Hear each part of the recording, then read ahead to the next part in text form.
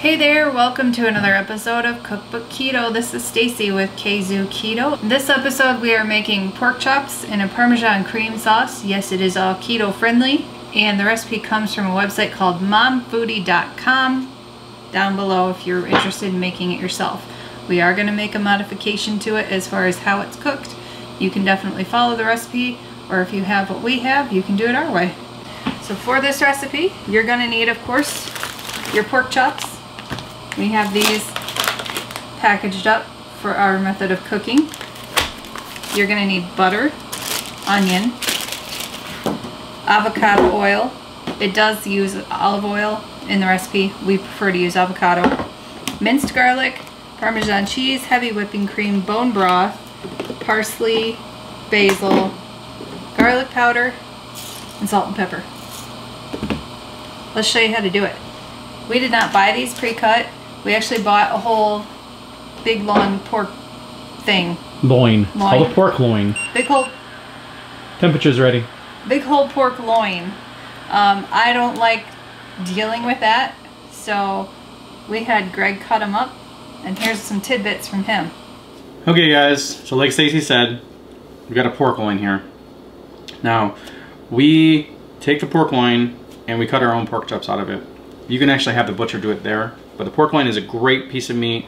It's um, fairly affordable and it's fairly lean, so make sure you're fattening it up with something else if you're if you're doing the keto stuff. But less than $16 for all of this meat. So we usually cut pork chops out of the middle and then we got two roasts on the end that you can kind of make and you can do these in a variety of different ways. They make great pulled pork um, if you want to do it on a crock pot or pressure cooker or something like that. Um, but yeah, I mean it's we got almost eight pounds of meat here for for 16 bucks, so obviously pretty good.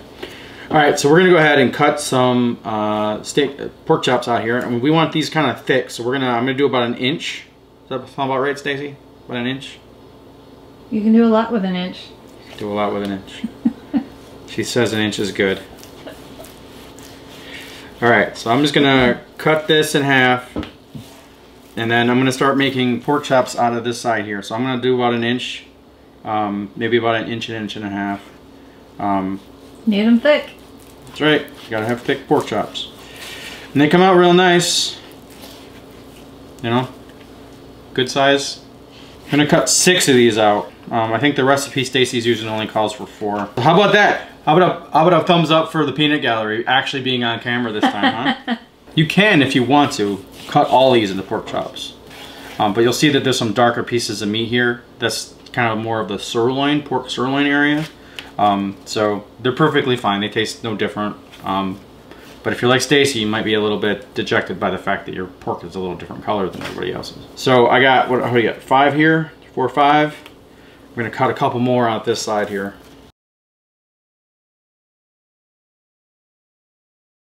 This is also a great option for meal, prepping if you want to keep keep going. Um, but like I said, so this is just going to be basically um, a bunch of pork. This is like normally what you think about when you think about a pork loin. Um, this is the part you're getting. The full pork loin, that's the whole thing. Um, that includes the pork sirloin at the other end. So, see, three, six, seven. Do one more. That's double recipe. All right, so what I'm gonna do is I'm gonna take these, I'm gonna bag them up in my vacuum sealer, and we'll turn them into um, pulled pork or some other places that you can do. You can also just make a pork roast. It's also very delicious. Basically three meals out of 15 bucks, and it's meat, so it's pretty good. Back to Stacy. All right, now Stacy's electing to cook these pork chops via sous vide, and if you're gonna cook pork loins via sous vide is also awesome. Um, so you can actually go ahead and season this right at the same time as you're doing the pork chops, and then freeze it that way, and then just make sure you let it sit out overnight so that it thaws up before you throw it in the thing. You don't even have to do that actually. You can you can take it frozen and put it right into the sous vide and cook it that way too. Just add an extra hour for your cook time. So a pork roast like this would take about six hours. So if it's already frozen and seasoned, just plop it in and let it sit in there for about seven hours. Oh. All right, now actually to Stacy. All right, thanks to Greg for cutting these up for me so I didn't have to deal with that nastiness. We're gonna do two bags of four.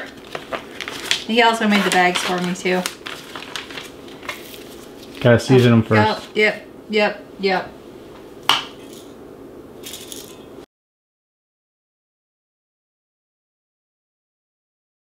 Okay, now that these are full, we're gonna season this. We get a lot of questions on these, and these are actually super helpful um, because it grinds it up for you. Um, we'll link these down below. Greg found them on Amazon.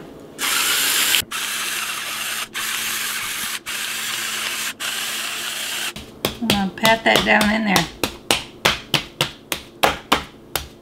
Get in there, salt.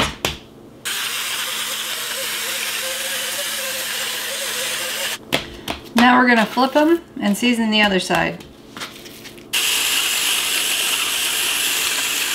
Now we're gonna put them in the bags after they've been seasoned on both sides. Quick tip though. If you roll the top of the bag, you don't have to worry about getting meat juice and stuff on them. Yeah, it's fine. But the bags are pretty large, so it's probably fine.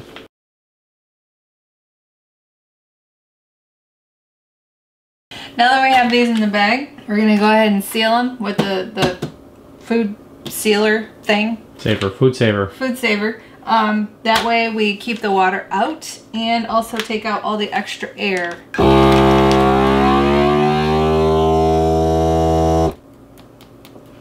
Hey, Now stop it's it. sealing. Hey, stop it.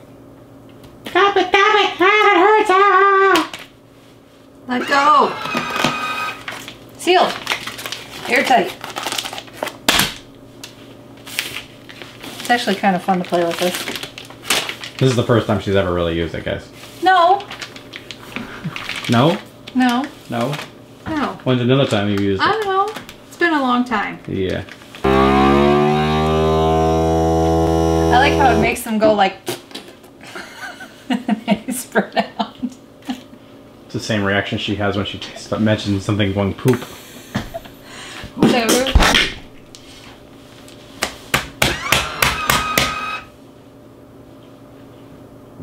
Done. Oh, it's done. All right. So you got eight pork chops and two roasts Yep. for 15 bucks. These are gonna go in the sous vide. These are gonna go in the fridge or the freezer. So we get these at the warehouse store, guys, like Sam's. That's where we got this one. Costco has them too, but they're about the same price. I mentioned we're cooking them a little different. We have them in these food saver bags to vacuum seal them. We're gonna use the sous vide, which is what this is. This is a great hands-off cooking contraption, which if you know me, you know I like hands-off. So we're gonna sous vide these. Sous vide means under vacuum. So we have these in vacuum sealed bags. We are going to put them in the water bath at 160 degrees for two hours and we don't have to worry about them burning. I don't have to babysit them. It's awesome. So now we're gonna put these in the fridge because we need to fill this with water and get it up to temperature. We're gonna fill this about three quarters of the way full. You can see somewhere on this there's a minimum and a maximum line right on the tube. Here's where we deviate from the written recipe. Um, that says that you can cook these on the skillet cook them in a skillet on the stovetop. But if you have seen past cookbook keto videos, I get really, really, really bored waiting for stuff to cook. And I have too many squirrels to do that.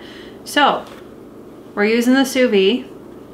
We're gonna put the pork chops in here. And the nice thing about this is, is you can leave it going for days and they will never burn. They will never be overcooked. They just keep going at the same temperature. Now this is my first attempt at using this. I have never used this myself. I think it'll be okay though. Yeah, don't leave it in there for days though, guys, because it'll turn into mush. Whatever. We've done that before. So if you're doing like a roast or something in days, yes. But you're doing pork chops, which are fairly, fairly thin. But we're doing thick pork chops. So so don't leave it in there for days because if you do, you'll have like just like mush meat.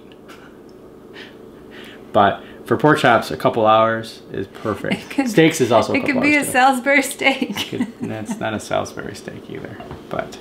But yeah, roasts are like six hours, and you can do even bigger pieces of meat. Like I think a pork butt, I'd do like sixty hours. Ribs are like forty hours. So it's really cool because it's hands off. So that's why, Which is what I like. which is what Stacy likes. So it's gonna take two hours to cook them in this, but it's two hours of doing something else Other things. than standing there watching and flipping. Yes. So you still, she's gonna do still a little bit of that because you're gonna sear them off in the in there, um, which is gonna basically give the juices to the pan anyway. But so it's basically gonna do the little bit of a crunch. Yeah, you're gonna get that because they're not gonna come out crispy in this. Like the tops aren't gonna be crispy or anything like that. So, but they're gonna be fully cooked, And they're Yeah. gonna be juicy. and they're gonna be juicy. juicy. Josie. So we're gonna sear them off. We'll show you that obviously when we get to it. We sear them off, and then we're gonna basically have her make her sauce stuff, which is pretty much the same thing as the recipe. Yeah. All right. So Stacy's over here messing with it. She's gonna turn the temperature to what? What do you say? 160. 160. Yeah. That way they're done, and we just sear them off. You can also do this from the app. I'll show you how to do that too. So you'll see it here. It's basically the same as that. So to stop it. You can also set the temperature from inside the app as well. I'll ask you to confirm.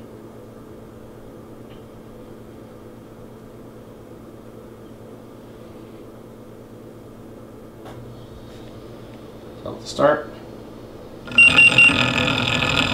And this is the Wi-Fi version, so you can actually do this outside your house too. You can actually put ice in this if you want, and um, basically like act like a mini refrigerator. Keep your stuff ready, and then as soon as you're ready to turn it on for the timing that you want, you just kick it off from remote, and the food starts cooking. So pretty cool. So we use our sous vide quite often. Um, we, if you are interested in looking at it or possibly buying one, we'll have it linked down below. If you already have a sous vide and you don't have these um, water bath contraptions, um, we'll also have those linked for you in case you're curious on trying those. It really makes everything a lot easier. We also have these racks that we use to help keep the food in place in the water bath. If you're interested in more sous vide recipes, definitely let us know in the comments down below and we can come up with some more things that we'll show you. With that said, let's get the pork in the racks into the bath because it's dirty pork. It needs a bath.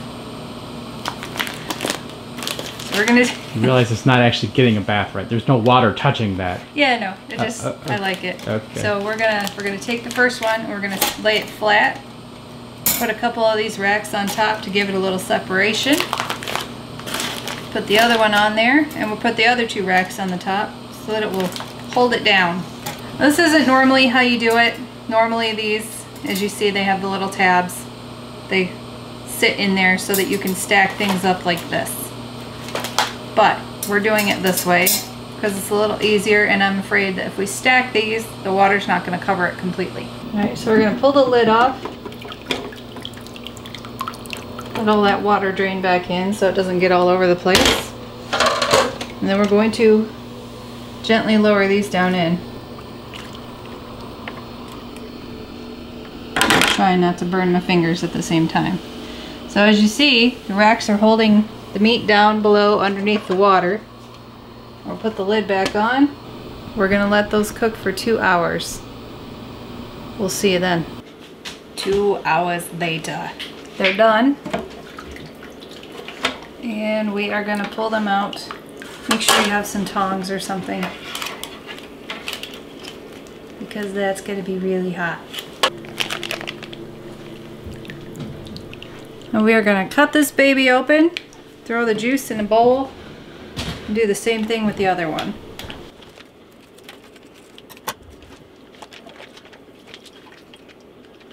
And we're also gonna dry off the pork chops And why are you drying them off? Because we need to sear them. So I have the cast iron turned on to medium high heat and I'm gonna throw some butter in here, a couple tablespoons, so we can get these nice and seared. These only need about two minutes aside because they're already cooked. If you remember, they spent two hours in the sous vide and we're just gonna Get the outsides of them browned up. We've got these browned on both sides. We're going to take them out. And we're going to start on the sauce. Now we're going to take a couple of chopped onions, throw them in here to get translucent, cooked up. As per usual, we are doubling. I'm putting in six cloves of garlic.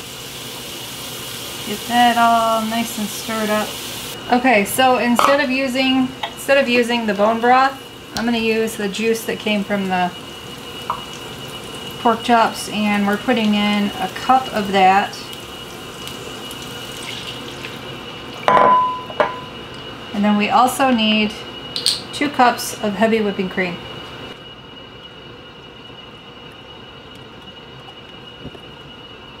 Then we're to reduce the heat to medium-low and we're to whisk in some stuff. We got two teaspoons of basil and one teaspoon of garlic powder. We're to whisk that in.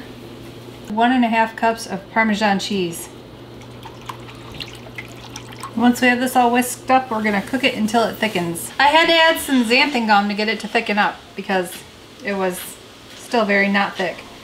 Now that it's thickened up, we're to put in our two tablespoons of parsley and stir that in. Now, is it two tablespoons for the whole dish, or is it two tablespoons per for? It's two chop? tablespoons for the recipe, but since we're using dried parsley, I'm not doubling it, and I Oh. just use the two tablespoons. Okay.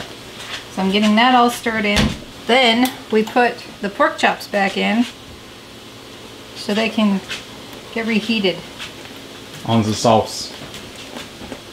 So we have it plated up. Cook it for a few minutes on either side just to get the pork warmed up. Greg made some fried, cauliflower fried, rice, Fried rice, yeah. to go underneath it. Um, and we also made Which is almost gone. Pretty much an appetizer at this point.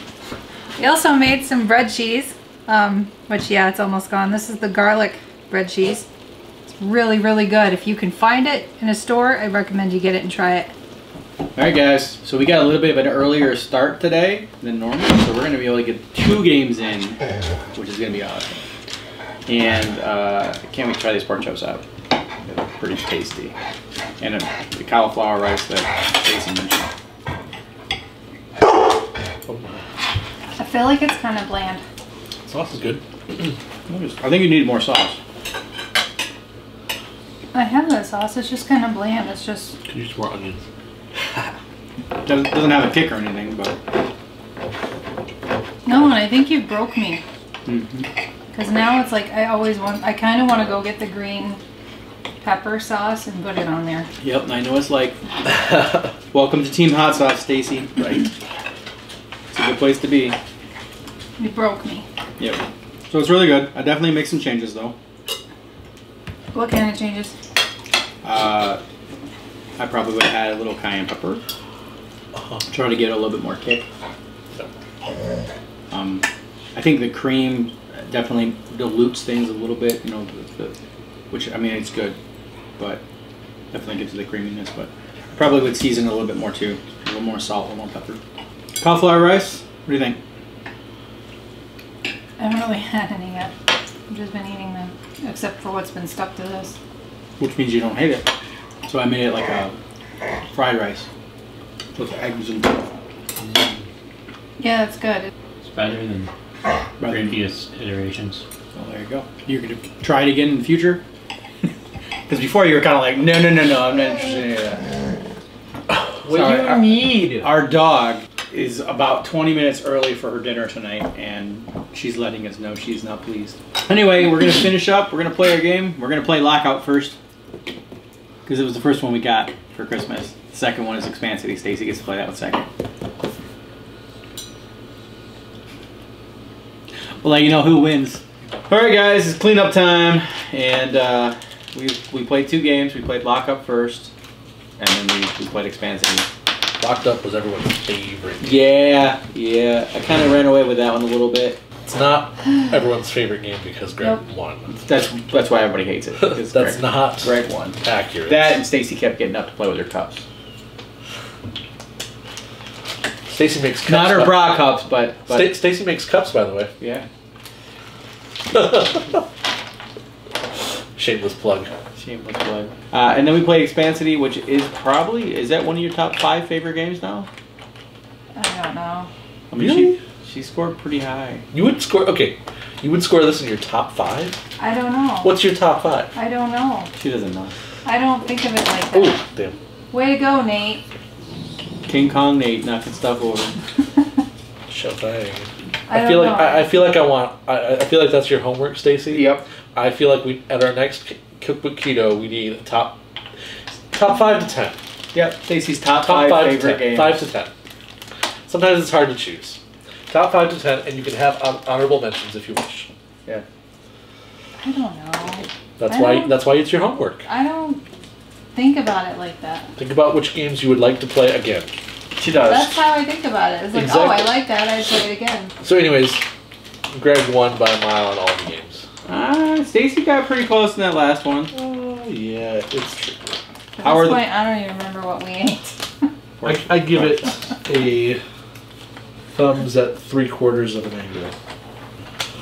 Three what did we eat? Quarters of an egg. Pork- pork chop. Oh, the pork chops. Okay. It was, Yeah. it was okay.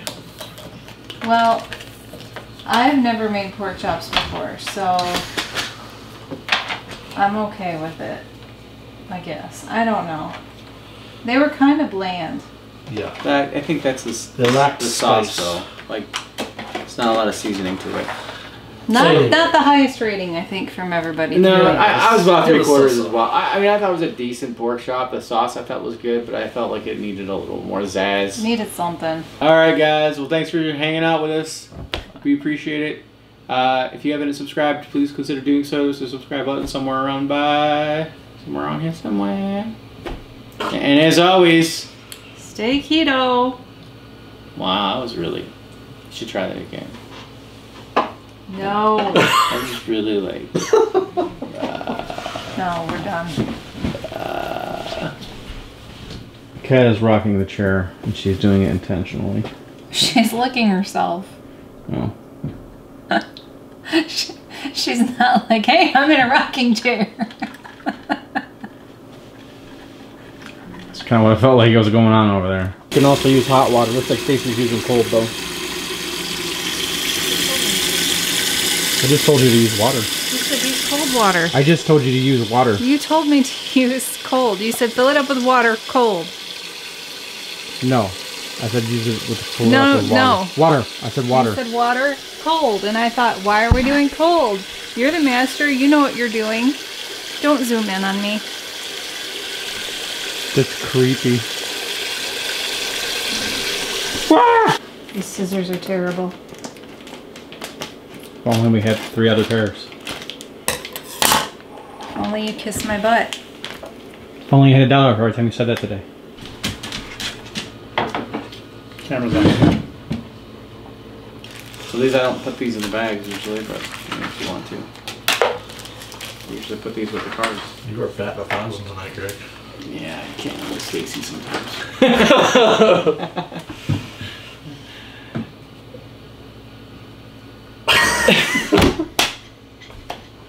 Is there anything else to What the hell? Let's go. She was waiting for me to say the sign I'm just waiting for you to be done.